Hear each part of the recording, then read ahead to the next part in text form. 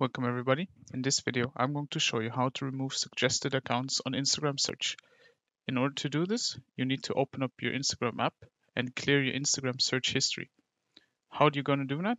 Is by opening up your Instagram app like I just did, and then click the profile picture in the bottom right. In here, you want to click the three horizontal lines in the top right for Android and in the bottom right for iOS devices to open up this menu in which we want to click settings at the top. Once you're in your settings, the next step would be to go to security. And in here, you want to scroll down to the bottom. It says data and history. And at the bottom of that, it says search history. Want to open that.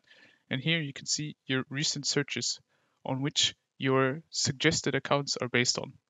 So in order to remove suggested accounts on Instagram search, you need to clear the search history. You can do that by clicking the X to the right of the an account to individually delete these or click clear all in the top right to clear all of them at once. This way, you will clear Instagram search suggestions and remove suggested accounts on Instagram search.